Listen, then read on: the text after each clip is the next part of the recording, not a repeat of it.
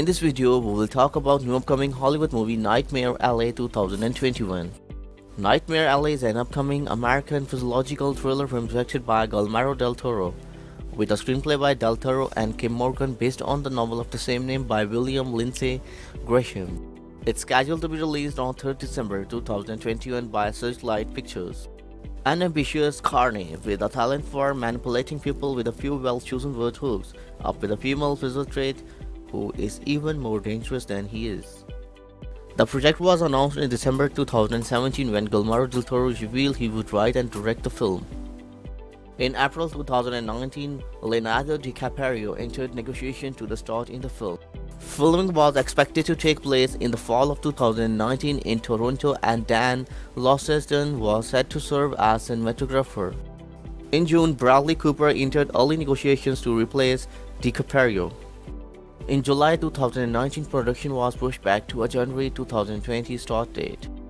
In August 2019, Cate Blanchett was in negotiation to join the film.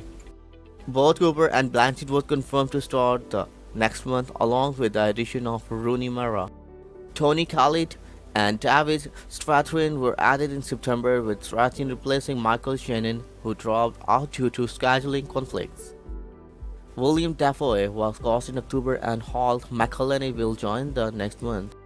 Ron Perlman and Richard Jenkins were both confirmed in January 2020. In February 2020, Mary Steenburgen and Romina Power joined the cast of the film. In March 2020, Paul Anderson joined the cast of the film. Principal photography began in January 2020.